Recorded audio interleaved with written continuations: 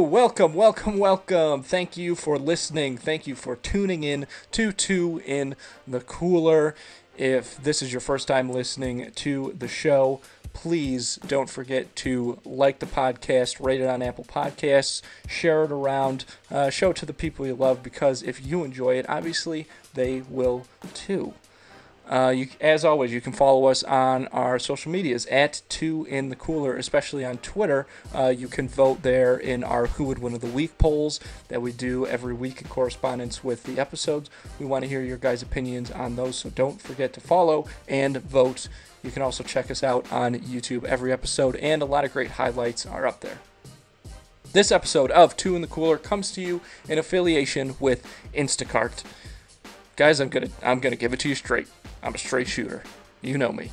There has been uh, a slight uptick in a lot of places of COVID nineteen COVID nineteen uh, cases um, in a lot of states uh, and a lot of towns. Um, so why risk it by going to those crowded grocery stores? Uh, not just that there's a lot of people there, but you know you have to wander through the aisles trying to find what you're looking for you don't have to do all that. It's not necessary anymore. That's not the world we're living in. The world we're living in has Instacart. It's a world where you can get your groceries and other products from some of your favorite local stores delivered right to your door in as little as one hour. And here's the best part right now, in the Cooler listeners get free delivery on their first order of $35 or more. To get that deal, all you have to do is use the link in the show notes and we'll get that right up there for you. Uh, so use Instacart. Guest on the show today is a friend of the podcast, Derek Stoberl. He's got a new band called Control. Their first EP, Isolation Waves, is out now. You can stream it on Spotify and Apple Music. So check that out. Let's get right into it, folks. Derek Stoberl, here's the show. Enjoy it. And we're back. We are live. How are we, Andy? Uh, feeling pretty good. Um, I'm in my uh, my elderly woman setup, as you can see here. Love it. Um, I, I like not the artwork above the bed. Well, thank you. I painted that myself uh, in the mid 2000s. It was sort of my, my realism phase that I was going through. uh, we, we've all been there. Um, as you can see, I've got my floral sheets. I uh, will also reveal that I have a blanket over my legs right now. So, I've got a blanket on my feet too, actually. Um, Derek? but we've got a great we Nice. we've got a great More episode of a coming man than today. either of us, apparently. Um, I'm really excited about it. Episode 28 here and two in the cooler, almost at 30. oh, it's um, I don't 29, think we- actually. Fuck, dude! Man. I knew it was There we go. 29. God damn it! Oh my god, that's so funny. Just because right before Okay, we that's on Andy. In our quick Well, who cares pre-production what meeting that lasts about 30 seconds. I care because I like to tell the people because the people care. But Sure. anyway, today on the podcast, I'm real. I've been really looking forward to this episode. Um, special guest, very good friend of mine, friend of the pod, friend of the family, Derek Stoberl. How are you, Derek? Doing fantastic. And uh, I see since Andrew has the 2000s thing going on, I have the 70s thing going on with Yeah. the beautiful, beautiful uh, wood paneling. So Hey. it's nice that we can kind of touch into some different uh, decades here. Yeah, we could remember the the old There's- days. The There's gas nothing wrong with some wood crisis. paneling. Talk yeah. about uh, how much we love Reagan and hate Nixon. I don't know, Reminisce. Yeah. yeah. the good Yeah. old days. Which is probably But, um, actually going to happen a lot since. Uh, Oh, I, I would assume. Yeah, have a lot of stories. Yeah, there will definitely be a lot of reminiscing about the good old days. Before we get into that, I want to talk a little bit about some music stuff. But before we get there, um, just quick, um, some semantics. Andy, what have you been up to this week? Catch me up. Catch the people Oh, up. Man, I you ask me this question every episode, and I always am full panic mode whenever you ask me. I always forget that you're going to ask me that. What have I been up to this week? Uh, You know what's going on in Rochester? What? Well, I know you're not there right yeah, now, I'm not but in I Rochester right now. Um, I had to I had to leave. Just a lot of uh, you know, uh, rising and grinding for uh, CBS. They've got uh, a, a wonderful uh, fall lineup. Um, just just primed to be canceled at a moment's notice. Um, the way the way they like to do it over there. Uh, you know, people people get tired if you have a show that goes on for like I don't know something crazy long, like two seasons or something like that. So they like Yeah, to they like to cut kind of cut the, cut the cut off the head of the snake right up top. Keep it fresh. Yeah. Keep it fresh. Great organization. And Yeah, we Matthew, love it. I assume you've been up to uh, junk. Yeah. A lot of hockey, a lot of school. Um, no, no real, uh, no um, paranormal activity recently, but um, yeah. He's But we've been doing pretty well over here. waiting for the Staying, podcast. staying busy. Yeah, he's waiting for us to start talking. I know. I got to watch my mouth around here. Um, but I kind of want to get right into it because I think we got a lot to talk about. Mhm. Because first and foremost, before before we and get off the rails, and I'm sure that we're going to get off the rails. I love getting um, off the rails. I want to really get into um, music and specifically Derek, like your music interests and what you've kind of been doing from um, a music and a band perspective, and just like your musical background as a whole. Because I've known you my whole life, right? So was Andy, and growing up, your house was always, always music. You were always a talented musician. Both your parents played instruments. Your sister played instruments, and she also just got married. So congrats to her for that. We were talking about that earlier. Um, but uh, I'm sure Andy will have some questions to jump in. But kind of start from the beginning of how you started with music, and then bring us quickly up to speed on what you've got going on now. Yeah, definitely. So, I mean, I, yeah, like you touched on, both my parents were huge musicians, and more so my mom because she, you know, going way back was always playing saxophone in jazz bands, and you know, she was, you know, like in her later years got into flute and concert flute, and then my dad, of course, you know, he's he's a singer in the Easy Street Big Band, and they had met um, in that band and you know done some side stuff as well. So you know they just you know from what they've told me as long as as long as i've been alive you know they've been in so many different types of bands everything from polka to barbershop quartets to you know jazz fusion to top 40 bands to big bands. You know they've been in really you know almost every area of music.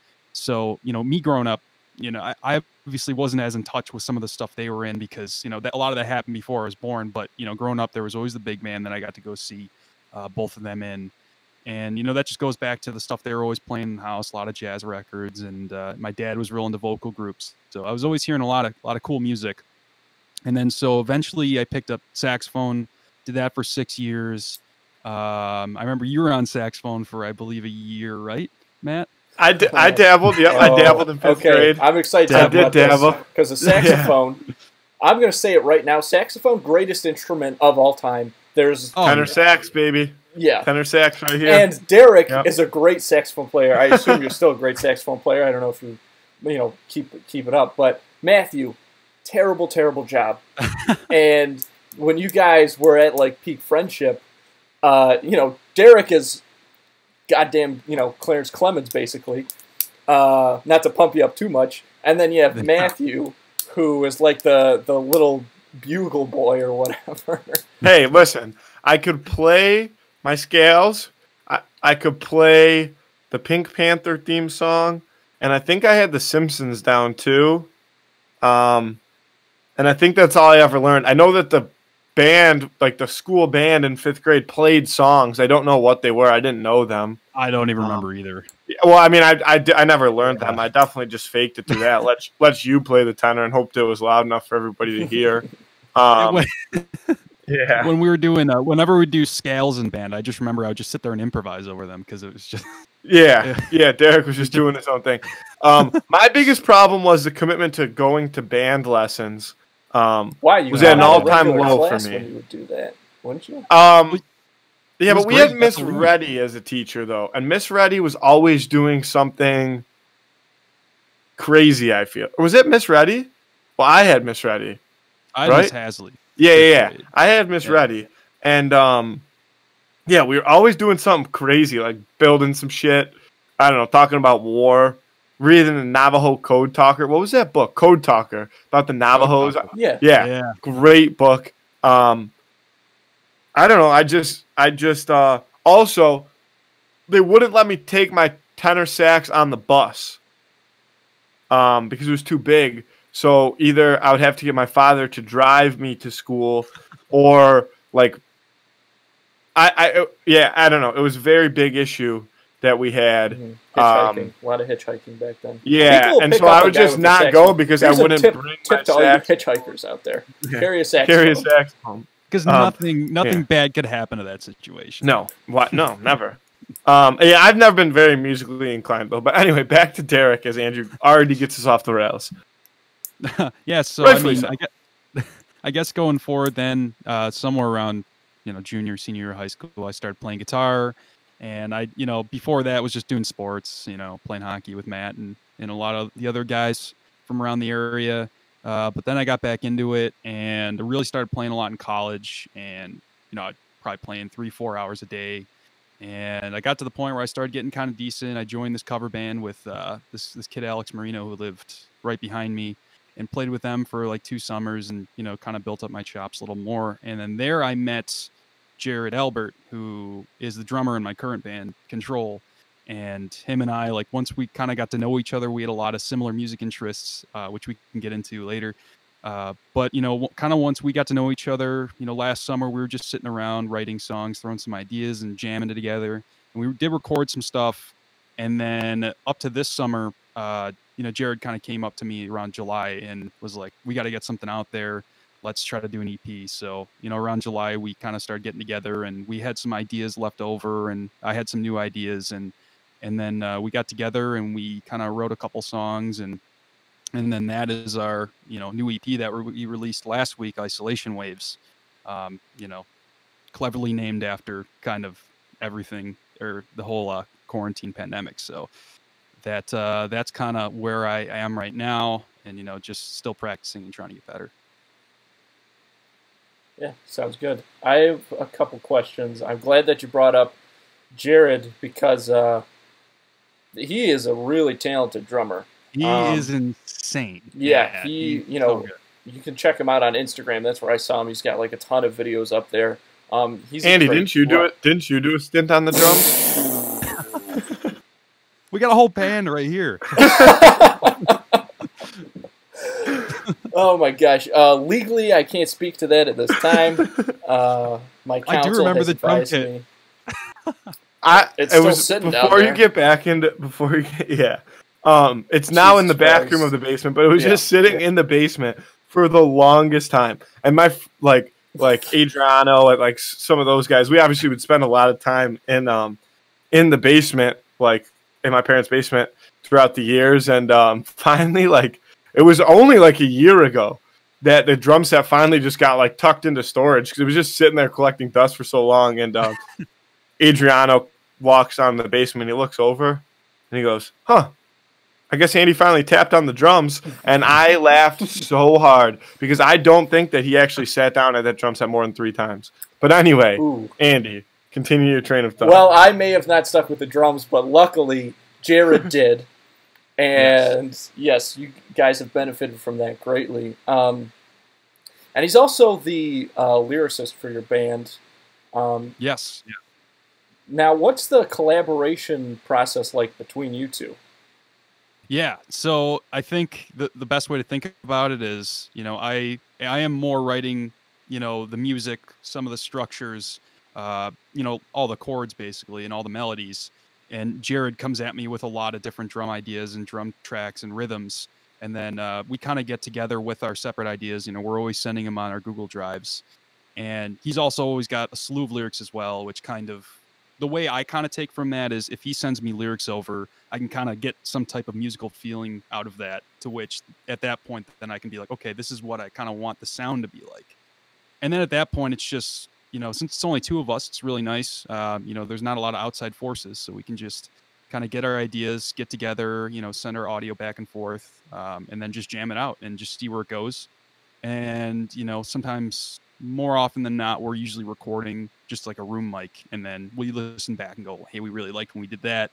Um, and that's kind of how a lot of our ideas come. And I mean, if I'm speaking more specifically off the EP, uh, the first song, "Old Crow," which is just like a kind of a short, heavy song, that was just a drum track Jared sent me one time, and I just you know let it play and just started riffing over it, and then we kind of got that whole song out of it. So That makes a lot of sense now that you say that. Having listened to the EP, I'm not surprised that you guys kind of do a lot of jamming to get to the final product. A lot of like basically just playing and improvising, right? Is what it sounds like and getting Yeah. to that.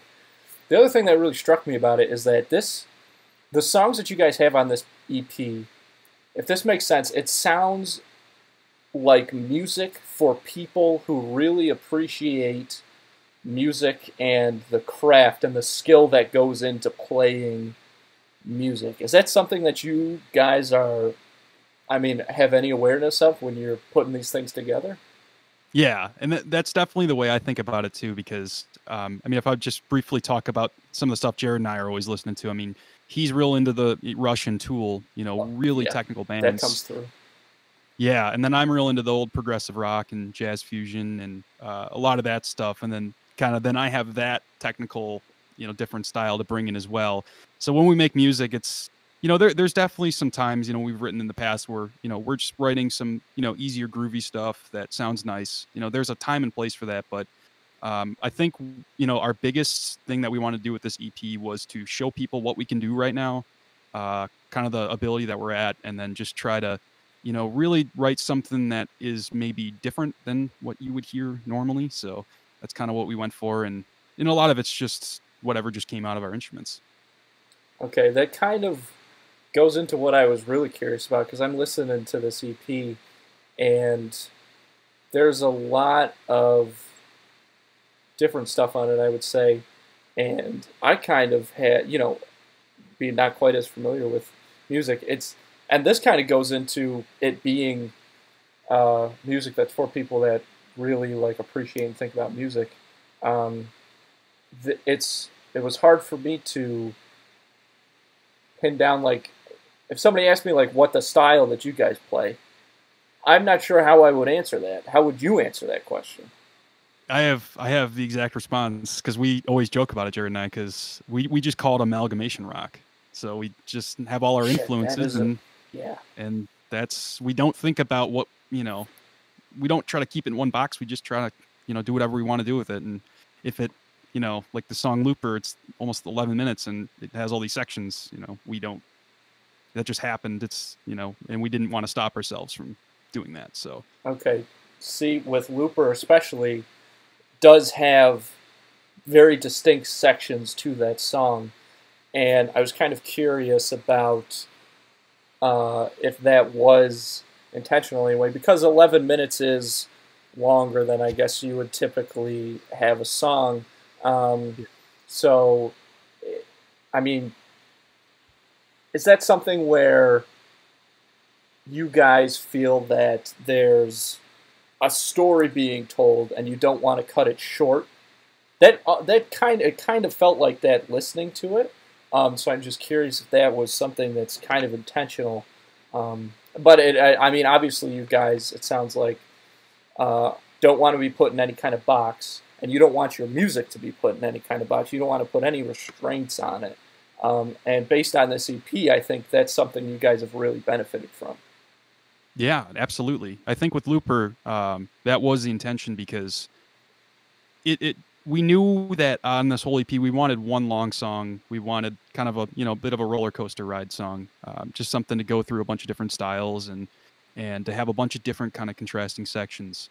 So uh, when we started putting that song together, you know, I came I came in with a bunch of ideas and and we just kept refining them, refining them, and it got to the point, you know, like basically what we do you know, kind of when we're almost done writing the song, is we get a piece of paper out and we chart every single beat down. And, you know, we see if we need to add stuff, we need to add more space, maybe add a different section so it doesn't go, you know, from like a super rough transition to another one. You know, we want things to be kind of smooth in that factor. So at that point, yeah, we had like four or five different sections in mind that we'd been jamming on and we wanted to kind of put them together in some way. And that's just kind of where we went with that. And yeah definitely the intention was we wanted a long song that had a bunch of different styles and we wanted to have some type of story almost. Mm-hmm. So when you were doing that song, was there a point where you guys were moving sections around to see sort of, you know, if, if A and C is better, you know, reversed or flipped, and you put D in the middle of that or what? Absolutely yeah I mean, you know there's a lot of there's a lot of stuff going on in that song uh, in terms of sound but we would just even just sit there me on guitar and him on drums and we jam the whole song through and and then we would stop and be like, okay, I don't know, like that that one part seems a little bit of a quick transition. We need to add something there to you know give some more space, and then maybe we say, well, let's take yeah, let's let's take that section that we have later and let's bring it over here and just see how it sounds. So that's definitely part of it. Um, it's just a lot of uh, trial and error, and then until we we feel like we like the flow of it and and we feel like it has all the necessary things that we want to do with the song. Uh, speaking of flow, the the very first song that starts the EP, "Old Crow," the Yes. very the the opening of that song. If you're listening to this EP, the first thing you hear is a crow noise. That seems very uh, ambitious to me, um, and almost and honestly risky in a way. So, what uh, made you guys want to start the EP with that song? Well, we definitely wanted, you know, the opening of the EP, and this is something that I always felt like when I listen to an album for like the first time, I want to hear a lot of sound at the beginning. So shortly after the crow, all the sound comes in. But you know, my choice to put the crow and the whiskey uh, sound effect in there came from uh, one night two summers ago. Uh, I went over to Jared's and we were gonna work on some stuff, and I wanted to, you know, pick up a bottle of whiskey. So I stopped at some drugstore, you know, liquor store over on River Road, and I was just like looking at all like the whiskeys, and I just saw one called Old Crow. So I was like, I want to try that because it looked cool, and I brought that over, and it was terrible. It was just this horrible whiskey. So, so, and then at that point, we just kind of always joked about it, and and then you know, when you have an instrumental song with no lyrics to it, you're like, okay, what do we call this thing? So, you know, we are just like, let's just call it Old Crow after this whiskey. So I was like, all right, I'm going to add a crow sound effect and some whiskey pouring at the beginning of it. And then all the sound will come in when you least expect it. Okay, yeah, that's that sounds really good hearing you like tell that back because I was like, wow, you got to come a- out with a song. You got to come out with a power song called. Topaz. So, yeah. oh my gosh. That'll be our next epic song. yeah. there you go. Oh my gosh. Yeah, that's the uh, the, te- the the tequila version of of Old Yeah, Crow, of Old Crow. which was Ah. our first endeavor in the world of alcohol. So, ugh, Quite the interesting choice we picked there was the, Yep. the Topaz tequila. sends a shiver down my spine. Just Yeah, I, I I don't even drink like nice tequila, let alone ever taking a sip of Topaz again. yeah. And Oh, that yeah, thing yeah. was probably bottled in 1994. yeah, yeah. Where did you That's, did an uh, old man wander up to you guys? Was- we were young. We it was when we were in high school, and it was in Derek's uh Derek's house. Yeah, would I- just I- every- I didn't want to touch the nice alcohol because then they would know that we drank the nice Mhm. alcohol. So I was like, "What?" I just dug through above the fridge and found a old bottle of. I think there was an old bottle of gin up there from who knows when. Like Yeah. it still had. I might have been like Ames or something, some defunct department or Yeah. like you know liquor store or something. And then there was the Topaz, which was just this you know crappy this plastic bottle, yeah, of just Oh. the grossest mm-hmm. Massive. tequila you could drink, and it was like a gold tequila, right? It wasn't like a clear tequila. It was like it was like a golden. Oh yeah, yeah, that shit was not that that was not tasty at all. But we had, I mean, hey, I mean, I don't want to get off track from the music thing, but I had to chime in the second you started talking about Old Crow and uh, make sure we didn't didn't forget uh, forget where we started. Our old friend Topaz. Oh lordy. I'm just kind of curious about um, aside from this interesting choice in alcohol, I guess with you know some of your your parents' tastes. Um, obviously, you got exposed to a lot uh, because your parents played so many different styles and in so many different type of bands. But what kind of music would they listen to? What was playing around the house? Yeah, it it was a pretty wide range. If we're talking more, you know, five ten years ago, I mean, my dad, like, he loves the the '80s like African American female vocal groups. So Pointer Sisters, Slick, you know, those were always playing Chaka Khan, you know, all that stuff. And then he would listen to a lot of, you know, uh, more jazz female singers like Shirley Bassey and uh, Janis Siegel. And then my mom, on the other hand, you know, she would listen to a lot of classical music. Um, a lot of Vivaldi, and then a lot of jazz, uh, John Coltrane and and uh, local guy Bobby Militello and and this uh, local jazz fusion group that I love called Gamalon, um, that were kind of big in the '90s. And then Spyro Gyra 2 is another local you know jazz fusion group as well. I've been listening to them a lot lately actually. So that was kind of a lot of the basis of it. So classical, jazz, and then vocal groups. And then I loved when I was super young. I loved the Beach Boys, and uh, that was kind of like my first band I, I really liked. What's interesting, you know, talking about these vocal groups, I guess I had never heard you sing before, and Yeah. you know, as many years as you know we've known each other and like been around. Um, but you got a good voice, man, and Thanks. it Yeah. works, you know, super well with the with the songs you're singing. Um, did you? I mean, did you always sing and we just didn't know about it, or did you did you learn practice? What's the deal? Yeah, I was a classic shower singer. So shower and car singer, where no one can hear me because there's you know you you're shielded by you know a, a giant box. So I, I mean that's kind of how I I would just sing in the shower and stuff, and maybe occasionally with my parents in the car or something. But you know even to this day, like you know this might be something that you understand. Like w- even when I hear my voice played back, even if it's a take I liked. It's just the cringiest thing. I don't know if you get that when you listen to the podcast back and you just hear your voice you Mhm. know uh, I get that when I hear recorded. Matthew's voice uh, on the podcast and in real life. Um, and in real life but but what are you gonna do? Classic Yeah. shower singers. I feel like most shower singers are kind of shy people. Were you shy about your singing?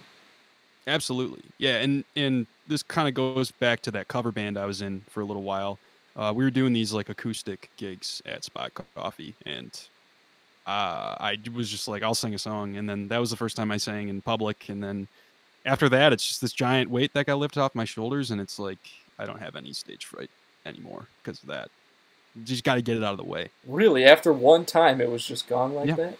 Holy cow! Yeah. I mean, maybe not completely gone because there's, you know, there's times you're, you know, you got a solo coming up, you wanna, you wanna do the solo well, or you know, you want to sing this part right. Um, but, you know, I think that just that one time, the first time I did it, I just felt so much more comfortable with myself, you know, singing after that. But I, I still to this day, like, I don't consider myself much of a singer, mainly guitar. Um, but I'll do it because at the moment it's Jared and I. So, um, I think, I think my vocals can can add uh, with his lyrics, you know, what we want to do with the songs. Yeah, well, it comes together all very nicely. And you are, I mean, both of you guys are playing double, triple duty in this band right now. I mean, you're on bass, guitar, Jared's got drums and lyrics going on. Um, When it comes to the things outside that, because I assume there are other elements, it sounded like I heard some piano or synth on some of these tracks. Is that right? Yeah. How do you divvy that up? Yeah, that's just I, I have a couple keyboards in the basement, you know, at my parents' house. So that uh, I I started playing piano really young. Kind of left that out earlier when I was talking about my history playing instruments. Uh, but I, you know, I've always been able to sit down on the piano and jam on it. And um, if there's something I want to add, I can practice it and be able to throw that in there uh, for recordings. But you know, a lot of the times when you hear a synthy sound, I usually do that with my guitar because I have a lot of pedals and effects. So that's kind of what I aim to do most of the time. But um, yeah, the fourth track, Court of Strangers, has a lot of keys in it. So uh, that's yeah, that that was added by uh, me. Okay, cool. Court of Strangers. Yeah, that's probably my favorite song on this EP. I really liked. I really liked Court of Strangers. I was like, wow, this is this is a really good Thank you. song. Um, yeah. So uh, there's oh man, there's nothing more impressive to me than like a musician that can like really play the piano. It feels to me like the piano is kind of where everything else stems from because you know it is certainly just because my musical vocabulary is so small it is a very musical instrument um, but it's also kind of i mean at its core it's it's it's a, it's a percussion instrument in a lot of ways you know strings and stuff like that um, yeah there's nothing more impressive i think than a musician that can just like start going at the piano that's a skill i always wish I had had Yeah. It's uh, it because you think about it, it's just every note is in front of you. It's all across, and there's no, there's no uh, you know, digital processing. You know, if you're just playing an acoustic piano, like you, whatever sound comes out of that thing is all on you. And yeah, I agree. It's it's always cool, like when you see someone that just walks down to a piano, sits down, and is able to play something cool. Like I always, my dad used to tell me that there's this guy uh, that he knew growing up, And whenever there was a party, this guy would sit down and just start playing ragtime piano. I, I always thought that was such a cool story. Oh my god, that's such a power move, man. I that is like a, Yeah. God, that is like living my dream. I bet you, you could get. I bet you, you could get some ass playing some ragtime. Absolutely. Yeah, without a doubt. We can meet. That's like the perfect soundtrack to a party too. I mean, Yeah. just to encapsulate all the craziness that goes on. You know, just some some ragtime piano. Yep. Should have stopped it. Should have It's stopped it there. That's what I've always said. Pinnacle of music. Yes. Uh, well, um, I'm sure that we'll touch back on the music, but before we do start to get away to it and get into some other aspects of um, your life and our kind of childhood together, um, and we'll do this again at the end, but where can people find this music? Where can they find the band, social media, stuff like that? Yeah. So um, our EP, Isolation Waves, is the name of it, and our group is called Control. Uh, that is available for streaming on Spotify and Apple Music. Just search Isolation Waves or Control if you'd like to listen. Uh, our Instagram is control.band. Uh, there is a link, you know, right on our Instagram page that will take you to all the places you can listen to it. So that's another place to look for it. And then we also have a Facebook, control.band.page. Another place you can go. There's a link there. You can click right on it. It'll show you all the places you can get it. So uh, if you have some time laying around and you want to listen to some local music, give us a listen. Yeah, it's the right Check call. it and out, we'll, check we'll it out. toss a link in the show description of this, and we'll have some stuff on our socials as well um, Thank about Definitely. it. Yeah. Um, but yeah, so now into a little change of pace here. So Derek and I, I don't even remember when we met or how we met. Honestly, I don't know if that's a bad bad friend of me. I just well, one, I don't have a very good memory to begin with. Um, Yeah. But for pretty much as long as I can remember, I mean, we took the bus together. Yep. Um, we would get off the bus and ride our bikes to one in somebody's house, and we would play any type of recreational game that they could find. We'd play street hockey mostly, but we play football. We play. We even played a little lacrosse. A lot Cross of like. Um. I was gonna say a lot of uh, like pickle in the middle. I remember Oh, yeah, playing a Ghost in the lot, of, Graveyard? lot of that game. A lot of Pickle ghosts in in the the middle. graveyard. Yeah.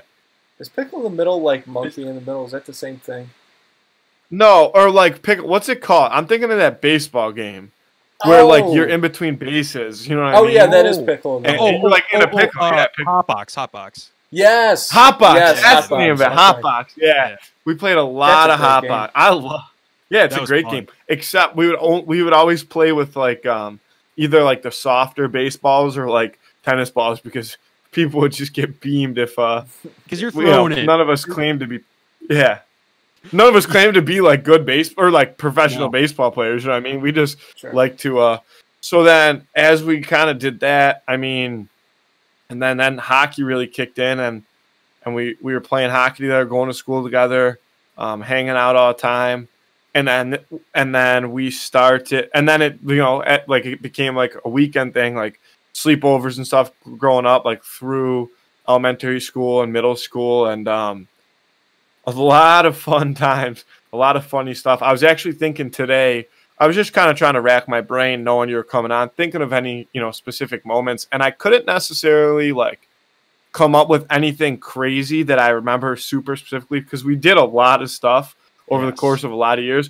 But the one thing that i do like know and this is something that w- it has to be just lost at this point in time but i'm almost positive that i still remember your home phone number by heart and i obviously won't re- say it over yeah, the air Probably not a good Um, idea. but but I, I'm I'm 99% positive that I still have it memorized because I would get off the bus, I would wait 10 minutes because you were just a little after I me, gotta get dropped and off. then yep, and then I'd call, and you know your mom would answer, and I'd say, "Is Derek there?" And she'd either say like, "Yeah," or she'd be like, "Nope, he can't. He's got stuff to do. Can't do anything tonight." And then uh, it just evolved from there into a lot of um, my personal secretary. horror movies and Doritos and Mountain Dew Mountain Dew. and a lot of GameCube. Mountain and then that turned in, and yeah, yeah, Mountain Howler. And then that turned into um, whatever liquor was laying around our parents' house. And as time evolved, it just continued. Um, so we've definitely got a lot of good moments. Um, Andy, I don't know if you you remember those days, but yeah, I remember those. I there was a point in time where Derek was over at our house more than I was for sure. Um, Absolutely. like without a doubt, like subs- like he was here substantially more than I was. Um, one thing that I'm pretty sure you introduced Matthew to, was introduced to the household that I want to thank you for, is Simpsons Hit and Run, game, greatest game of all time. Game ever. Um, but there's one thing that I want to say fuck you to both of you guys about, and it's this one. There's probably a lot of things I could say it about, but there's this one particular moment. I'm curious if you guys remember it. So I was sleeping in, and for some reason it was only the three of us at home, and you guys came up with this plan that you would kick open my door and shoot off an airsoft gun. It didn't have any BBs in it. You would just fire and make a loud noise. What kind of gun? It was like some kind of assault rifle. I had Airsoft yeah, I had my airsoft gun. yeah, that Matthew had. Oh, Um, wow. So I'm I'm like laying in bed, and I hear like the shuffling outside my door, and I hear like "What's that? What's that?" and I see these shadows beneath beneath the door, and these whispering like, these guys are gonna kick open that door, and they're gonna fire that airsoft rifle at me. And I was thinking like, okay, they're gonna expect me to flip out and be scared. So what I'm gonna do is I'm just gonna lay here and pretend that I don't hear it. And I'm just curious, and that's what I was curious about if you guys remembered that moment, because the way I remember it is you bust open the door and you fire the thing, and I just didn't move, and I just looked at you guys like, what, the, what are you doing? Like, get out of here. It- What if it's- I actually hit it low? You cut out there, Matthew. I said, what if I would have had it loaded and I actually started shooting at you? Then would you? How would you have just sat sat still? Well, that's a that's a whole different situation, I guess. I don't. I don't- honestly have no. I don't remember that I at did all. not think. I like I have far ahead. zero memory of that. I I re- it's one of those memories where I can like kind of view it from like a third person perspective, but I can't hone in on like the details. Right. But I do I do remember just like barging in there and I just remember Matt just like spraying the gun or whatever. And it was I think it was a clear automatic gun, if I remember correctly. No, I didn't have a clear one. My my it Oh, was okay. it was black. But I I, to- I forget about like I for we used to play a lot of airsoft too. I loved Yeah. playing airsoft. It's like the close. So this is how I'll explain like my theory with airsoft. It's like a, a friend of mine had this idea. Well, it was it was an outside idea of like do you think that if so say somebody made a radius like we'll call it like a four like a, or like a two mile radius like a circle and the I the concept was created in Ellicottville so obviously it's not like here it's mostly woods right where the two mile radius would be and what so, th- so there's a group of guys so there'd be like five six guys and they all have firearms like they all have guns. And you get a two hour head start and then for the next 24 hours they search that two mile or however big you decide to make the radius for and you have to hide. But the catch would be that if you actually got found in that 12 hour frame so you have 12 hours to get found that like they shoot you like they shoot you and, and you die my theory was that that would be one of the craziest things to do because if you believe that you could hide like the adrenaline rush that would come from knowing that people and I can hear my I think my roommate's laughing at me because I've talked with him about this plenty of times. Like I think that the adrenaline rush that you would get from hiding from people that are actually trying to kill you would be an experience like no other. Absolutely. Is it crazy for me? But that I think that's why I loved Air Force. Like that theory of like or airsoft, like the theory of like fighting for your life. I don't know. It's just it's an adrenaline rush, and I love it. Because there was, there was, I know, you know, when you're playing airsoft, you clearly know that there are non-lethal rounds getting shot Yeah. at you. But when someone, when you hear a gun go off and you hear, you know, bullets hitting, It still hurts, like, you, it still kind of- hurts. it, it- yeah, and and I won't mention names, but there were people that we played with that had far superior equipment than us. You know, and our little Chinese rifles. and Yeah, my yeah, we- sweatshirt. Yeah, we and they had the they had their ghillie suits running around practically. Yeah, ghillie suits and- Yeah. and, like like air air mesh like professional stuff. It's just and their guns just shot so and so they were just and ripping us. Yeah, I, I even see half the specifically remember. I actually did. I don't know if it was you, but I specifically remember playing with like one of those guys, and we were walking through like the woods. So where we used to play, I mean, nobody re- else really understands this because they can't see where we used to play airsoft.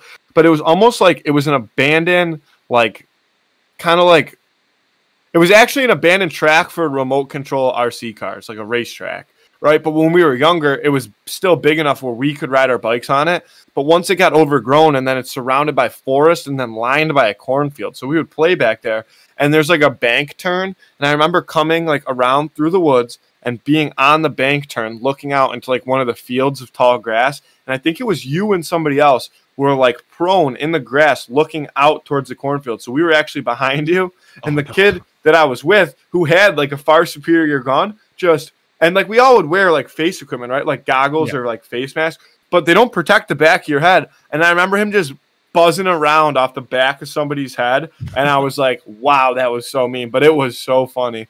Yeah, we did a lot of uh, a lot of stuff like that. Another thing that I actually give you credit for is like my my love and understanding and knowledge of all scary movies of all genres throughout all of history. Um, that was one big thing we had in common was we loved watching just the scariest movies we could find, Oh yeah, and I still do to this day. yeah, me too. That was you know we we would yank all the the pillows off my couch and make like put them on the floor and make that whole like area. Then we put a bag of Doritos in between them, and then we just lay there. And you know, I had all I had The Shining and the original Halloween on VHS, and Yeah, maybe we would go to Redbox, um, you know, and grab a movie from there. But we were, I think, we might have gotten into some some streaming too at some point with our with a laptop. But yeah, no, yeah, we- I think yeah, that, yeah. But you know, It's that was- actually impressive that we watched as many movies as we did, thinking back on it, because we watched all the classics and as many new scary movies as we could, all of that, and really without it was before you could we could just pull up any movie we wanted on our laptop. I remember like even like the Grave Encounters movies. I Oh, remember yeah. those. Those are great movies. Um, fantastic. yeah, I, we we we definitely uh, and a lot of mini sticks too. A lot of mini and violent my mini God. sticks. I haven't thought Violent, about yeah. mini sticks in years. If somebody gave me a net right now, I'd play a game of mini sticks in the street if I had to. I would love to play some mini sticks.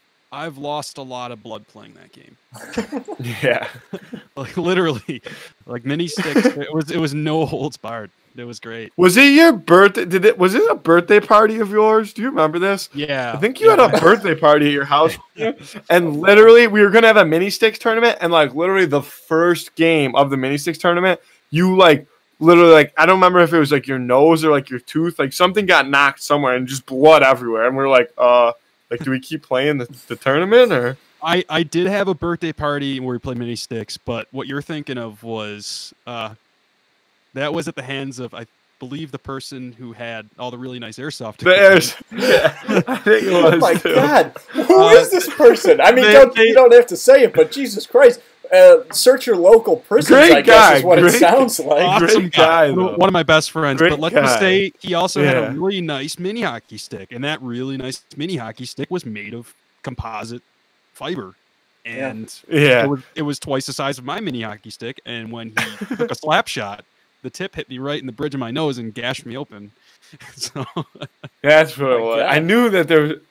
Yeah. Uh, it's all a blur. It's all a blur. oh yeah, Um, that was I funny. could though. think of. They got to bring I can could think sticks of back. and like I actually hell yeah.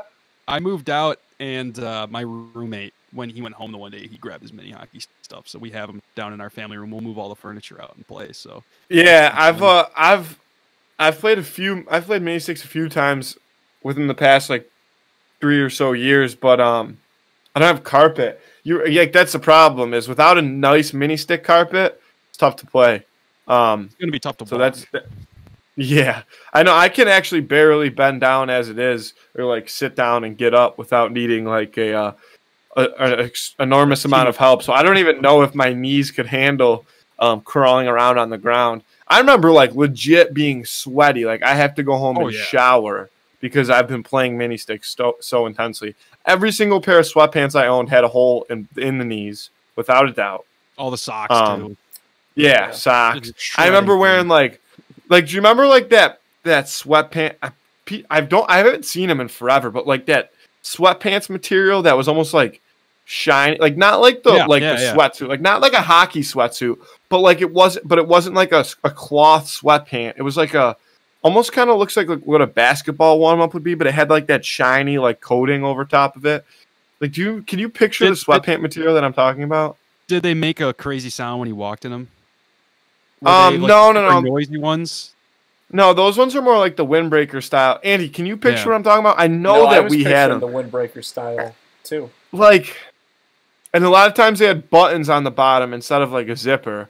Um, and when you'd play mini hockey on them, they wouldn't like necessarily get holes right away, but they would actually get like like burns in them, like would melt? smoothed out burns. yeah, and the knees would be virtually, which is another thing we used to do too. We would like, I don't know how old we were at the time, but probably not old enough to be like, we would like just take this these plastic, probably cancerous mini hockey sticks and just heat them up over the stove, chuck an oven mitt on, and just bend the shit out of them. So you're working with an absolute banana of a curve. You actually couldn't even shoot the ball low. It shit would just you'd be running into the kitchen every every 30 seconds to go get the mini stick ball. But um and then um and then it was a quick switch from from mini hockey to like pool hopping and, and I we pool hopping I don't think should be illegal because it's actually just hysterical. Nothing and if you were to like if something bad were to happen to you in somebody else's pool, it's your fault. Like the other person's not liable. Because I remember like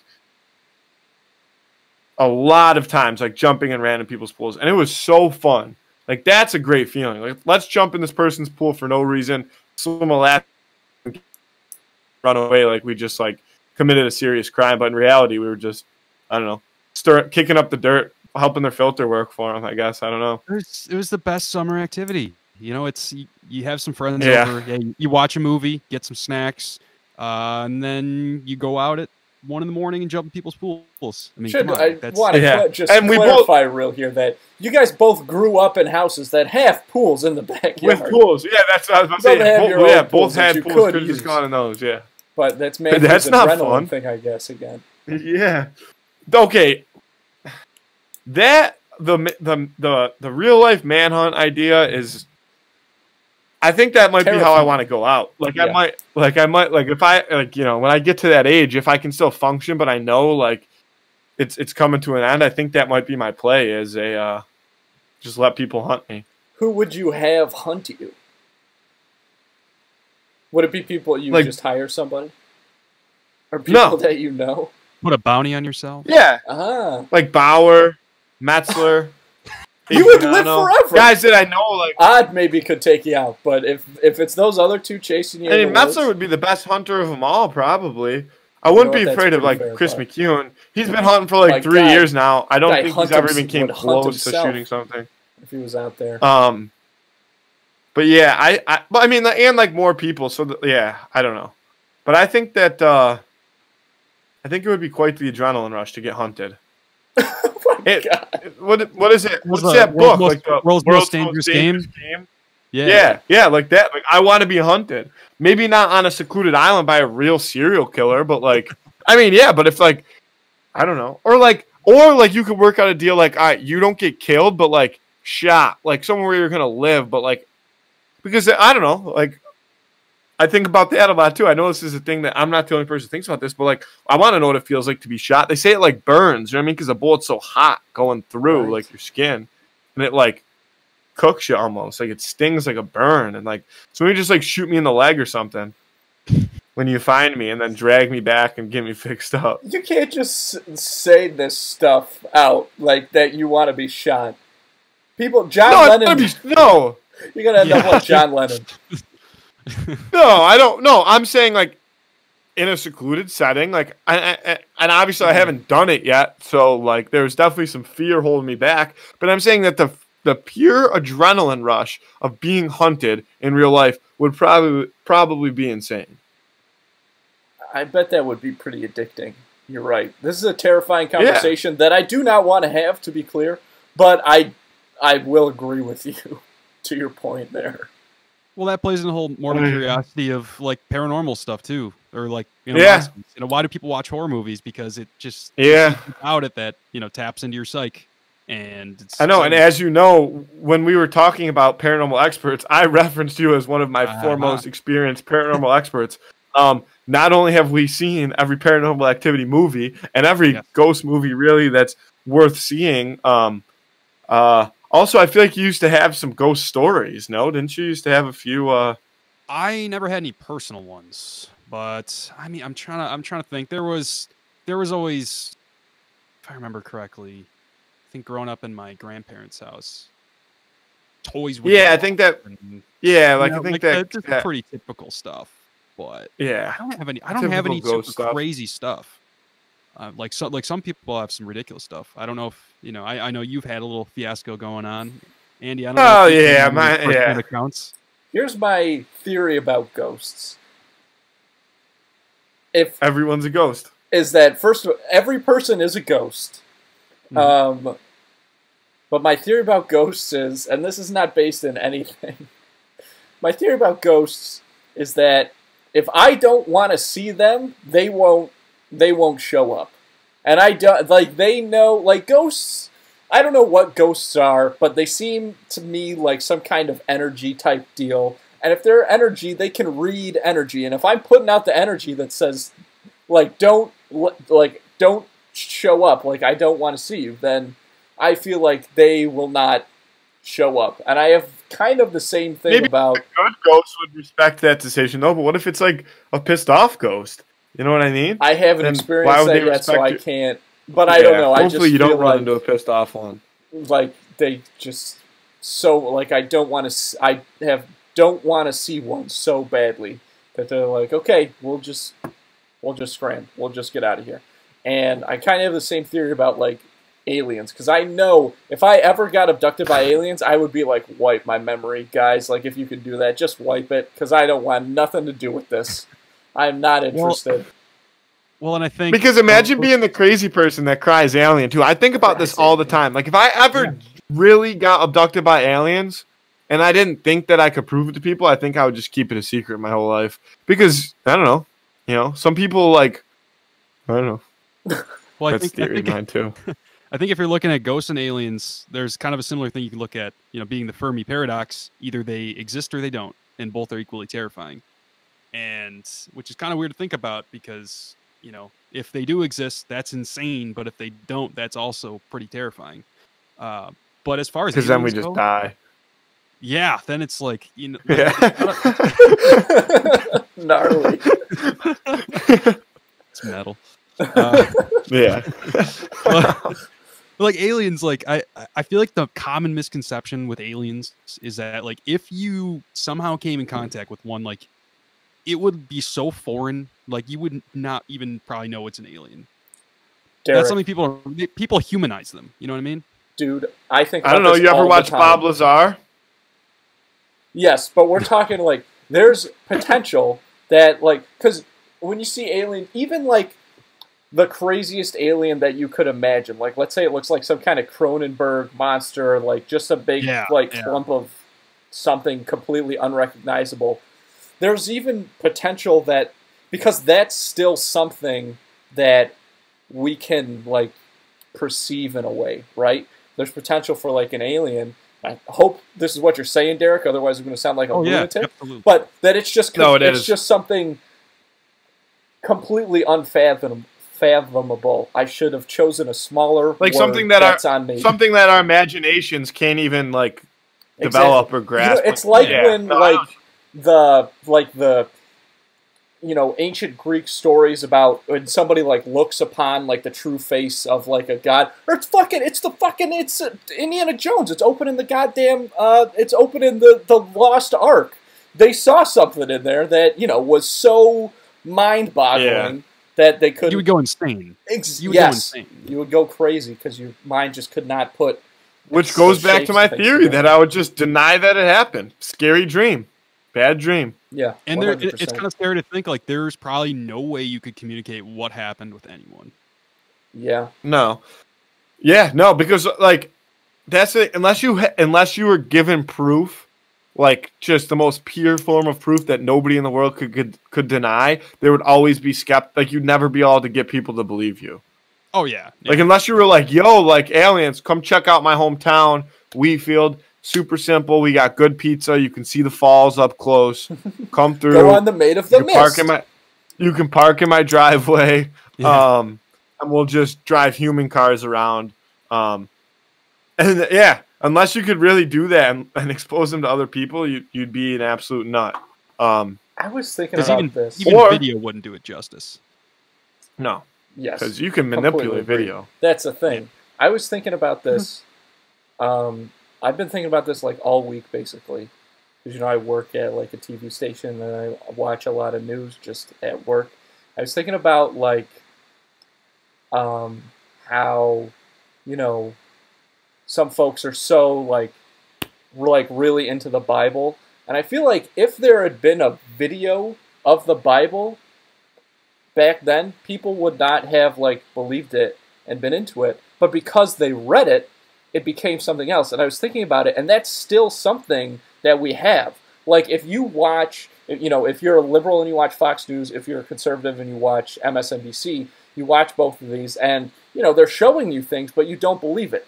But you see a fucking headline on Twitter, and it's like, oh, this is this is fact. There's something about the written word, and maybe because they're the only way to to perceive it, it, it like just you there's a natural filtering process that goes into that that's sort of a screen that's taken down a little bit when you're like watching something um, but yeah i've been thinking about that all week and it's just fascinating that that's something that like is still is still around so i well, you're able to you're able to read it in your own voice and kind of put your own your own character on it. right Which I think would be why, which is why you know a lot of times when you look at you know movies, the book is always held at a higher regard because it's just left to a lot of interpretation. Um, whereas you So, know, when- uh, Yeah, I'll give you my my current synopsis. I don't know if that's the right word of religion.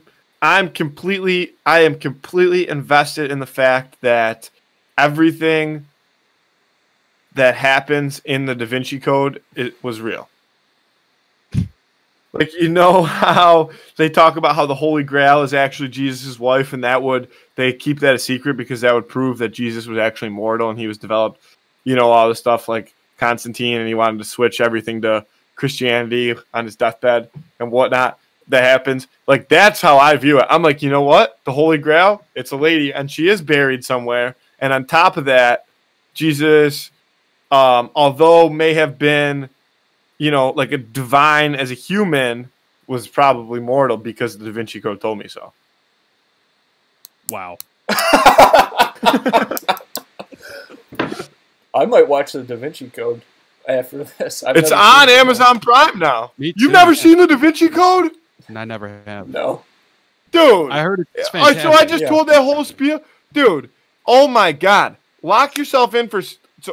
Give yourself six hours tonight. I don't care if you got schoolwork, homework, work, work. I don't care what you got tomorrow. Get off. Watch the Da Vinci Code. It's on Amazon Prime, free of charge, if you have Amazon Prime. And then watch Angels and Demons, which you probably have to pay three ninety nine for, but it will be worth it because it's also just as crazy. I've am telling you, that watch the Da Vinci Code right now. What the fuck? Demons.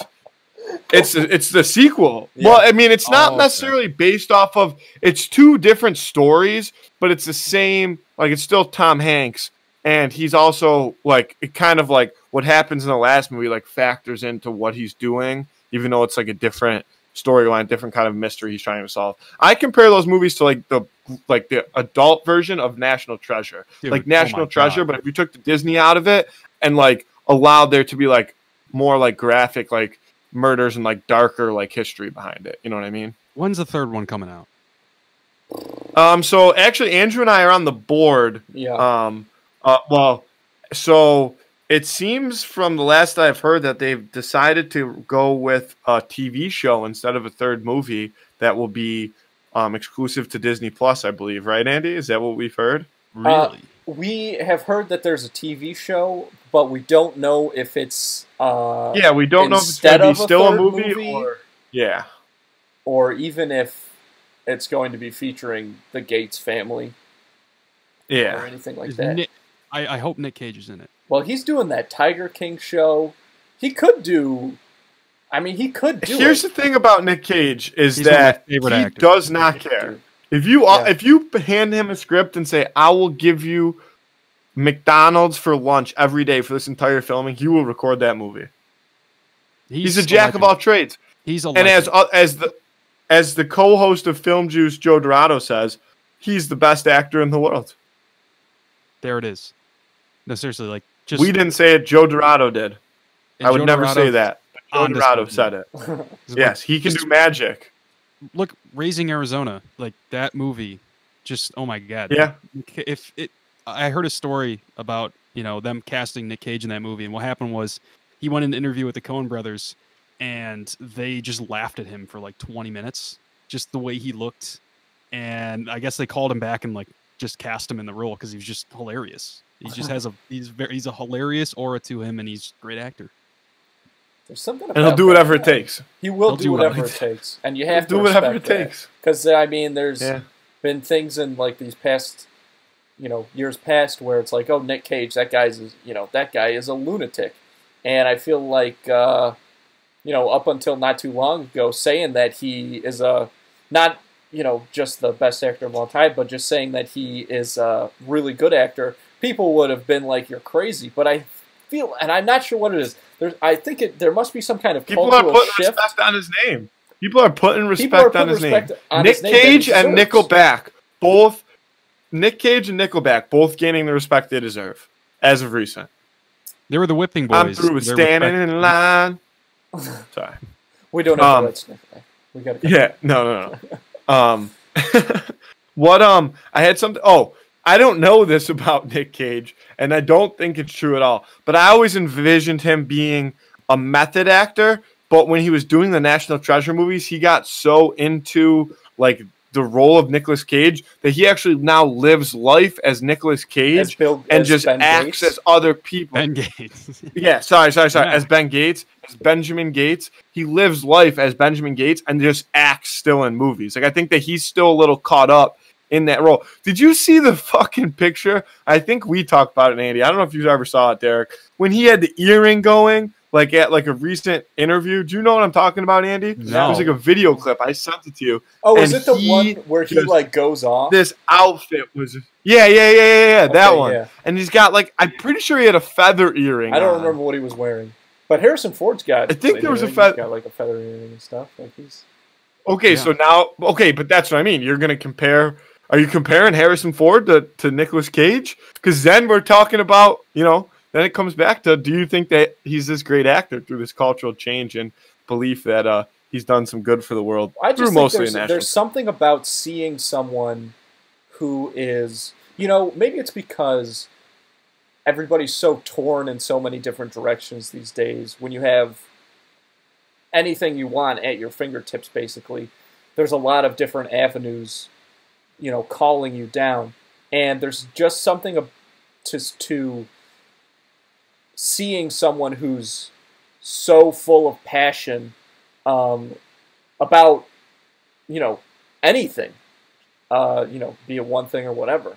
And Nick Cage definitely has a passion uh, for acting and his craft, and I just think I guess that people are just more receptive of this idea that it's maybe not necessary, but it's can certainly be a part of um, and is you know acceptable to be kind of uh, for lack of a better term like a, a, a lunatic like a crazy person when you're so passionate about something. And and you kind of you can see the results of that um, artistically you know you can, tons of examples right? And Nick Cage is Yeah, Nick- definitely a passionate guy. And if you have critics you're doing something right. Yeah that's a great call. I think that's absolutely true Yeah, so and there's a there's actually a horror movie I want to watch with Nick Cage called Color in the Sky. I think it's called. It's like an old. It's kind of a Lovecraft sci-fi horror movie that I guess came out recently. I just want to throw that out there because I want to watch that. You guys might want to check it out because uh, you know it's almost Halloween and we just talked about Nick Cage. yeah, I've, I've actually never heard of it. I, I definitely uh, do intend to check that out. Um, with that being said, um, what do you say? Maybe a little uh, who would win of the week over there, Andy? Yeah, Derek, if it's cool with you, I think we should get into it. Let's do it. Okay. I'll let you tee this one up, Andy. But I do want, or yeah, you go, and then I'm going to say something immediately after. Okay, sounds like a plan. So, uh, Derek introduced Matthew to The Simpsons. Simpsons is my favorite show. Um, one of my, at least it, maybe my second favorite show of all time. I got my Bart Simpson hat on right here that I always wear. Um, but Derek introduced you to The Simpsons, right, Matthew? Like you'd never seen it.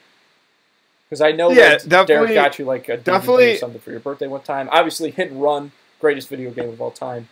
Ever. Um, yeah, that that's actually They gotta re Um, they gotta yeah, I would say- re-release that shit, but Yeah. Um, so we uh, wanted to incorporate that a little bit in here.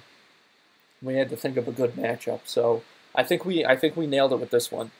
This who would win of the week is Maggie Simpson versus Tommy Pickles from Rugrats.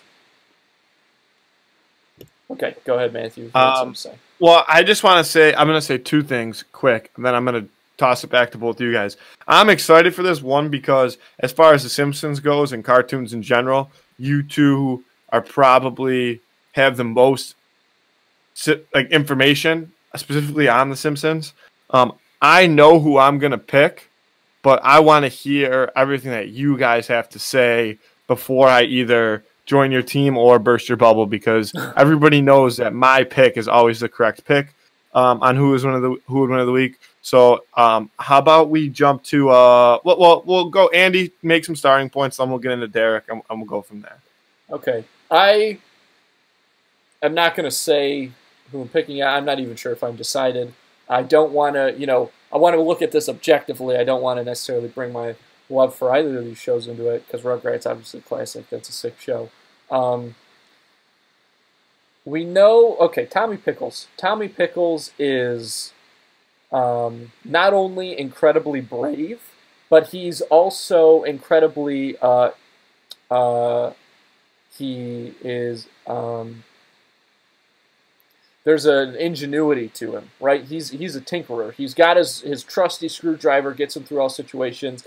Uh, he's a very technical thinker and a technically minded uh, person. I think when he approaches problems, and he also obviously has a pretty good grasp on you know me- mechanical elements, um, things of that nature. Maggie Simpson is a straight up savage. I mean, she shot Straight Mr. badass. Burns. Um, Yep. She has achieved multiple feats that, I mean, just of, of athletic prowess and obviously mental capacity that uh, it's difficult. I mean, I, it's hard to see any baby um, ever achieving, um, even in a cartoon, I guess. I do. Um, so I, I think that they've got two different skill sets, uh, two different approaches in this fight, um, and I think either one could deserve to come out on top. Certainly. Yeah, I have probably like you, Andy, more knowledge on Maggie Simpson than I do Tommy Pickles. Um, but I guess yeah, taking the objective course and looking at both of them. Uh, and first off, Maggie, like you said, straight savage. She's a badass. She scared the mob off with a shotgun. She rallied up a whole daycare to help her escape. she shot Mr. Burns. She saved Homer from drowning. Like it's just she's driven cars before. Like it's there's no shortage of Maggie doing things that are so beyond normal infant. For a baby. yeah. Uh, Tommy Pickles, yeah, I, I when I think of him, and I haven't watched really the Rugrats a lot since I was younger, but I used to watch it all the time. I mean, Tommy Pickles to me, he was the leader. He was just the alpha of the Rugrats group. I mean, he was the go-to guy, and like you said, he's got a very technical prowess, and you know, he's also got the whole speech thing on his side. Tommy can speak. now, when you when when you're looking at fighting and combat and who would win, uh, you know, your first assumption wouldn't always go to speech, but I think that that might be something that might play into it, just showing that Tommy is a little bit more advanced when it comes to motor skills and uh, uh, just I guess brain maturity.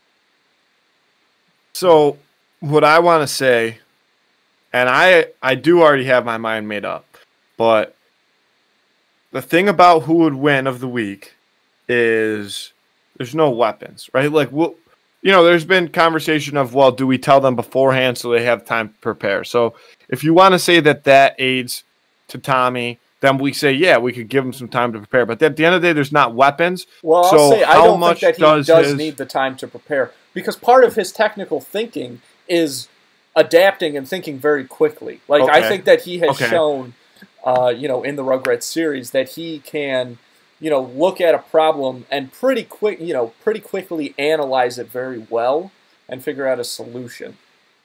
But given he doesn't necessarily have the ability to tinker or change anything in the situation other than it's just because you know what I mean it's just going to be him and Maggie. He doesn't have time to come up with something, build something, create something that's going to help him win this fight. And I do think that his ability, his critical thinking ability as a child, as a baby, cannot be like underlooked because when you look at Maggie, yes, she's a savage, but you also, I feel like Maggie does things without thinking and does sometimes put herself in situations where then she has to get out of them because she did stuff without first considering what would happen. Whereas that's not something that Tommy would Tommy would not find himself in that position as a baby, right? He would, you know, he, he would think before he does it. However, that sometimes could work in a fight to Maggie's advantage if she's willing to just be that savage that we say she is and go out there and just balls to the wall, go right at him, kick his ass, fight's over quick. But if she doesn't react in that way, I think that if she at all takes foot off the gas, then Tommy would have the opportunity to use his ability to critical think to then manipulate Maggie into a position where he wins that fight.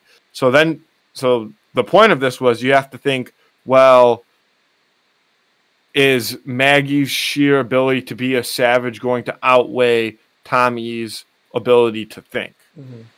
I will say this about Maggie. She is extremely agile. She's Yes. able to swing off any obstacle around the room and use that to her advantage. I don't think Tommy has the mobility. I mean, look at the intro to Rugrats. He can barely walk. So, uh, I mean, That's an excellent Maggie point. having Maggie having that ability, I think, would work insanely in a fight where you know maybe they didn't have weapons or you know they had very little time to prepare. Um, you know, whatever the circumstances are, I think I think Maggie has the ability to move and has and use the environment to her advantage. But then, yeah, then I guess you know, looking at Tommy in that situation, I don't know if he's gonna be able to defend Maggie flying around the ceiling fan and then onto the the record player and then back at him and stuff. I, I don't know. Yep. I think that that might be where for me the the the tables start to turn a little bit. That's an excellent point about Maggie's athleticism. Oh man, this is a tough one. I will say this. I think Maggie is very smart. Um, we know this. She knows not only how to handle herself when she's in just about any situation, she also knows when to get out of any bad situation. Tommy does not know when to give up. Tommy, to me, the best, the most accurate way I can kind of describe the way I see Tommy's approach to fighting is um, like uh, an anime type Well, I know how thing. I see. T- like I I've see never, Tommy fighting. I would just like want to finish this thought just to clarify Okay. that, but that's but we'll go to that because that's interesting. But now I've not seen really any anime, but what I've seen is a lot of guys who are like really like beat up, and then they're like looking down and like. And then there's another guy who's like, "How did he get up?" And he's like, "I the power of friendship" or something like that. I'm pretty sure I just wrote the best anime of all time. Um, but that's what Tommy. That's what Tommy is. Um, and even if his friends aren't there, obviously this is a one-on-one battle. He, can, not Not to be cheesy, but he carries that strength with with him. He's got the moral strength. strength of- absolutely. Yeah. What I was gonna say though to chime in is, and then after this, I'll I'll give my pick. I didn't want to lead on too early in the conversation because that sways Andrew's opinion. Um, Tommy. I feel like would be like a Sherlock Holmes type fighter. Like if you've seen those Sherlock Holmes movies with Robert Downey Jr., where like he's calculating like I'm gonna hit him here, that's gonna do this to him, and then I smack him here, he's gonna come at me with this, and then I do this. Like I think he's, you know what I mean? Like I think he he he's he has the, the plan, but I don't think that it would be enough to match, as Derek said, Maggie's athleticism based on like with on top of or however you want to say it, her just past of being, for lack of a better term, a savage. So I think my pick here is going to be Maggie Simpson, but I don't think that it's going to be an easy fight because I don't think that Tommy's going to lay down. And I think that he is going to have the opportunity to inflict a lot of pain on Maggie. But I think at the end of the day, Maggie is just going to pick herself off the ground and snap his neck and call it a day. Like, All right, that's tough. I To, think, that's a tough uh, point to argue. I, I think uh, I think my pick is Maggie. However, the caveat I will say is that the beginning of that fight would be extremely important because I think, as we've kind of touched on, Maggie would come out with a lot. And if Tommy, you know, is able to counter that in some way and swing the momentum early on, I think he's got a pretty fair shot in the fight. But despite that, uh, my pick's still with Maggie. She's just a freak of nature. I, I do I do agree though that I think that depending on the start of the fight, the, the tables could turn either way. You know, it depends on if Maggie comes out hot early. But again, I, I and I just think back to the point you made because I I liked Maggie coming into the fight, but I was almost talking myself out of it. But the Mhm. point you made about her agility and her athleticism, yeah, Tommy doesn't have that. I mean, yeah, he has the ability to think, but how you know You got to execute. Right. how how far is that going to go for him when when Maggie comes out? yeah, That's exactly. true. Got to execute. Um, Andy, man, this is this is don't even. F- a tough fight. Uh, Matthew, relax. I think one of the things, and I want to say this: we've seen Maggie do a lot of crazy stuff. Tommy is certainly more tame in most of the situations we've seen him. However, in the Rugrats movie, they do like the, these babies get like lost in the forest and they fight monkeys and stuff like that. I'm just remembering that now. That's why I'm bringing it up. Um, so he has had, and they get lost in Paris in the one, a lot of stuff. So he's had a few instances where his stuff is, you know, almost on par with some of the things that Maggie has done. Um, he's never shot in a billionaire, but I mean, we can all dream. Um, the thing about Tommy Pickles, who I'm slowly realizing may be my personal hero, is that we've seen him um, in any situation that he finds himself in, he's able to adapt so quickly. You know, uh, frickin' Angelica is causing a ruckus. His dog Spike gets loose. Uh, monkeys are messing with his baby brother. There's a toy lost. You know, his best buddy Chucky is having like a panic attack. Um, Tommy has always risen to the occasion. And that being said, my God, I'm being. I did not think I would be torn up so much about this one. Um, I just feel like you know it's tough because there's no situation that I can articulate necessarily that would prove this point. But I do think that Tommy would rise to this challenge and somehow be able to physically stop Maggie Simpson. I do think that somehow he would find a way to win this fight. That's what my gut is saying. That's what I am gonna go with. Um, yeah, I believe I believe in Tommy Pickles. Vote for him 2020. I um, Andy, I do think it would be a close fight. I'm not going to come at you for your reasoning behind picking Tommy. Oh no, no, I'm not going to come at you for him. I'm going to come at you for your reasoning because you know, and don't even try to tell me that this isn't true. You know damn well that if Derek and I didn't come out here and pick Maggie, you would have picked Maggie. If I would have, if I would have said I think Tommy wins that fight, you would have picked Maggie. You don't have any integrity for the game. I can see it in your face. Wow. How dare Yeah. you? Yeah, Wow. yeah. You're saying I don't have any integrity of who would win of the week? Yeah, Integrity is all there is You're in in this it for game, the- Matthew. you're in it for the no. You're in it for the controversy. You like to stir the pot, and the thing is, the pot always bites in the ass. Just join the winning side.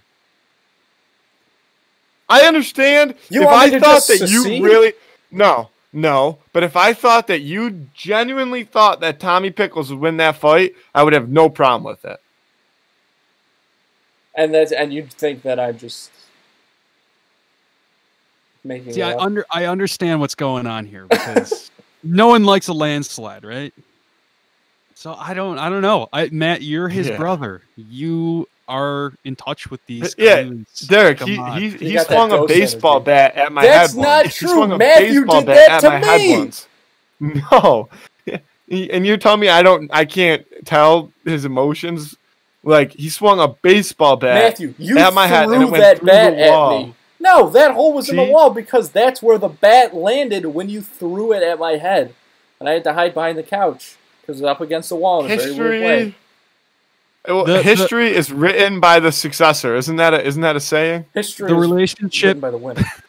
the relationship of Matthew and Andrew very much borders that of the Joker and Batman. I will say. oh my gosh! And I'm yeah, but Batman. I'm the Joker. yeah, you are absolutely. I like not only that we both picked the like. Not that we are those, but that we each wanted to be that one. yes. You're like I'm Batman, Yeah. and Matt starts laughing. You are Andy. Because when I said that, I was like, if Matthews might try to be Batman here, and that's just not true. But nope, he was like, oh, I'm, I'm, I'm the Joker. Oh my but the God, thing is, you're good. not Batman either. Yes, I am. You're not the Dark Knight.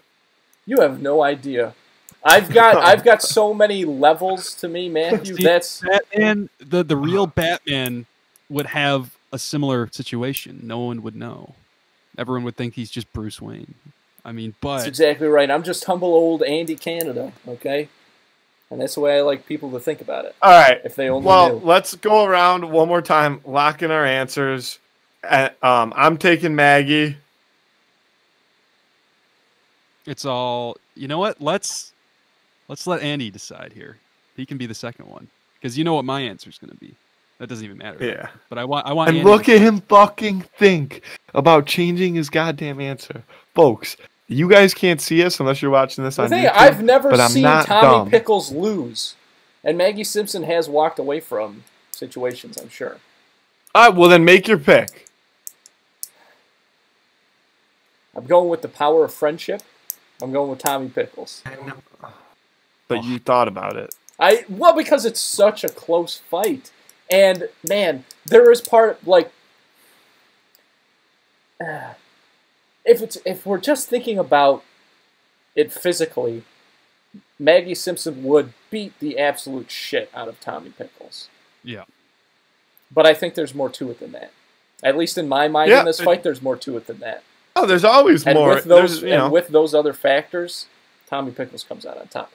But and I don't know the dimensions of either of them, but I would assume they're about the same size. probably Tommy Pickles' head though is massive. it is if he ha- if he gets a headbutt in, right. She's a, that Good might be luck. his one saving grace. Yeah, but Yeah. but she, Maggie's pretty much wearing a mouth guard at, at you know what I mean? is. If- if she's- Yeah. That's yeah. true.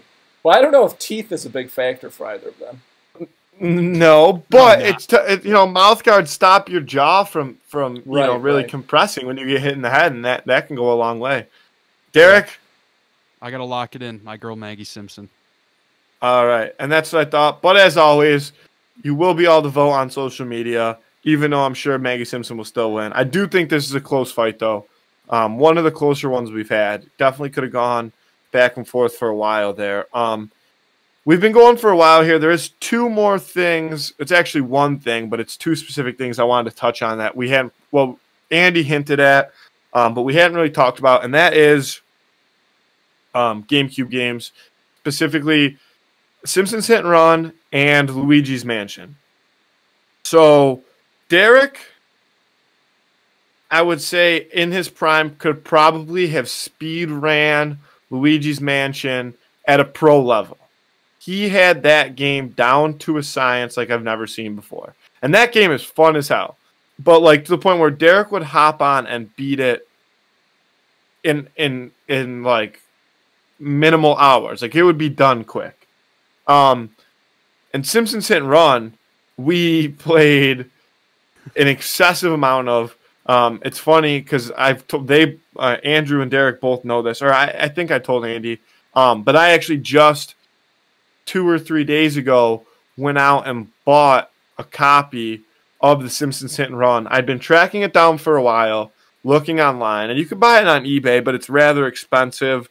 And I worry about buying old used games on, a site like that sometimes. Um, and then just through a series of luck, um, they had one copy of it at a at a GameStop in Buffalo, and after after a little bit of um, uh, footwork, I tracked it down, went up, picked it up for for a measly thirty five dollars, and um, so I've been back on the Simpsons hit and run grind the past few days. Um, but uh, yeah, what do you think about those games, Derek?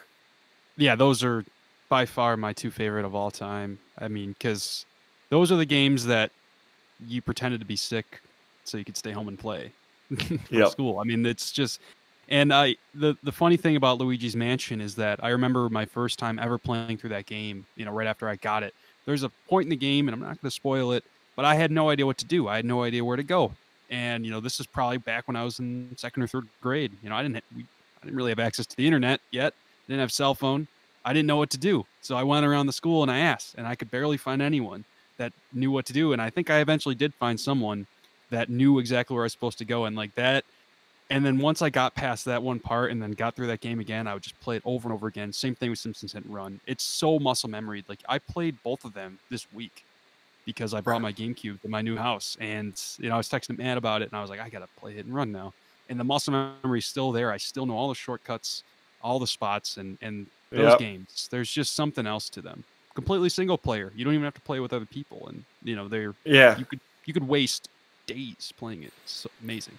yeah, like especially like Simpsons Hit and Run yeah. is on it. And I mean, I've seen this comparison before a lot of times, and it's a little, it's a little like cliche for my liking, but it literally was like the, it's, it's like GTA, it but GTA. like before it is. If you include all, I mean, if you're just doing the levels, so like if you've played the game before and you're just playing the missions to beat the level, um, you can you can do it fairly quickly, like within like I mean, the guys who are real like the, the there's literally pro guys that can can do it in under two hours. Um, but it, it doesn't take an enormous amount of time. But if you do all of the side missions, all of the races, get all of the car, you know what I mean, for all of the characters, all the um, gags, wasp cameras, it's a, everything. It's yeah, it's a it's a time consuming game, and it's fun as hell. And even like, dude, like even the other night I was playing, and I think I was on like I, I just started and I, I, was on the third level. It's Lisa's level, mm-hmm. and um, I was playing. I was just mission, mission, mission, mission, like just kind of going through them, like just because I hadn't played it in so long, wasn't really doing. I did a few like side races, um, just because in the Bart level specifically, um, you can do the one with um, um, Grandpa, and you get the like the World War II looking like Jeep, Jeep thing, the car. yeah, and I love yeah, yeah. So I I do that one, get that, and then um but I was like, dude, I haven't even, I didn't, I had, I, I, didn't even have a hit and run yet at the point because I wasn't all the way through Lisa's level. And Lisa's level is where you get all the hit and runs because when you're driving quickly through the boardwalk, you're just rocking yeah. people. So I was like, you know what, like just for fun, like you get a hit and run and then you just try to outrun the police, like little shit like that. It's just, it's very fun. So I wanted to definitely make sure we touched on those. Um, but uh, it's yeah, and just the, and if you love the show, I'll make this quick if you love the show, just the amount of little Easter eggs from the first 10 seasons, 11 seasons, which is my favorite Simpsons era, is yeah. the first, you know, 10 seasons. The amount of references and stuff that you're going to know, you're going to know like all the little jokes they make. It's really cool.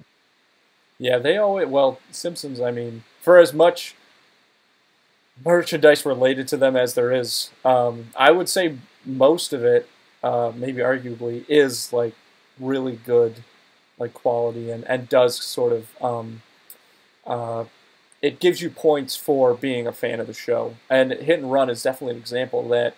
With talking with you guys, like, because I I never really got to play it. Um, I never played it all the way through. Um, I only played it a couple times when it was like sitting down there. Um, when you guys were like taking a break or something. And it's, you know, just talking about how long it is and how much there is sort of to do when you're doing everything, not just the missions. It feels to me almost like that was right in a time, and I don't know when that game came out exactly. I want to guess like 2003. Two? Yeah. 2003? Yeah.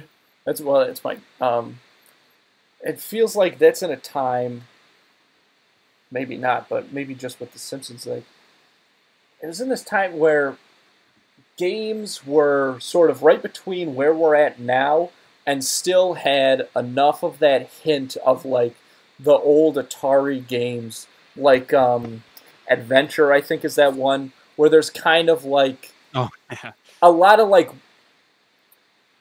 they were trying to do a lot of like weird complex stuff, but the technology wasn't quite there the technology wasn't quite there for what they wanted to do, but the industry was at a point where it was so still sort of obscure and unregulated that they could do whatever they wanted. And because, Absolutely. you know, that's just sort of like the nature of the people who were making those games, they just threw a ton of stuff and a, you know, and um, and and did it right. You know, it's not just like they threw it in there, you know, just for the sake of it. And there's just something said for just, you know, being able to take the disc out of the box, put it in the console, and play it immediately without updates, downloads. You know, obviously you have waiting time and stuff, but there's no paywalls, there's nothing. Everything you can do in that game is all in the confines of that disc, and you don't have to do anything else. You don't need internet. It's just amazing. Like I, that's why I to this day, like I'll just fire the GameCube up, and it's it's just the best way to game, in my opinion. Still, it is good fun. It is good old fashioned fun. Um, Kick the can. All right. Well, yeah. So we've been going for almost an hour and a half here, Andy. So I think it's it's about that time. Um, is there anything else you you want to add before we uh we wrap it up here? Uh, Derek, thank you for coming on, man. Um, we really appreciate it. Thank you so much it. for having me. And we had a good time talking to you. Um, come on whenever you want. Uh, you know, come on with Jared sometime when you guys put out, you know, next thing or whatever. Um, sure. And yeah, just remind people to go and uh, take a look at Isolation Waves. Uh, give it a listen. Yeah. Yeah, I was gonna say, um, just one more time, just for the listeners. I know we said we'll we'll link it, which we will, but um, just social media stuff like that. Um, tell them that one more time. That way, people can go check it out. Definitely, because I'm sure there'll be some people interested, especially with it being a local talent and whatnot. Of course, yeah. So, um, Isolation Waves EP uh, by Control is available on Spotify and Apple Music for streaming. Uh, and you can find our Instagram at control dot page. And on there, you'll be able to find the link to go listen to it wherever you'd like. And, you know, we post some interesting content. We'll have some more cool stuff coming out soon, as well as more music in the future. And then our Facebook is control dot page or control dot band dot page. And I'm sorry, the Instagram is control dot band. So, yep, visit those uh, gotcha. uh, social media pages to get the links. And, um, you'll be able to listen to it, and we'd really appreciate it if you do. Awesome. Well, Derek, again, thank you so much for coming on. I was really looking forward to this. Um, I feel like we didn't even really get into, you know, the detail of so many stories that that we have to tell. Um, I mean, I can't. My memory is horrible as it begins, but my I can't even begin to comprehend all the things that uh, we did growing up. So we'll definitely have to get you back on. Um, hopefully, maybe soon we can start getting some you know, some in-person interviews and stuff like that. It's a lot of stuff that Andy and I have been talking about as the pandemic starts to come to a close here. But um, thank you for coming on, and everybody make sure you check that out. And um, thanks, guys, for listening. Uh, Andy. Boom, love it. Thanks again, Derek. Let's get out of thank here. Thank you so See much. You, love you, Andy. Yeah. See ya.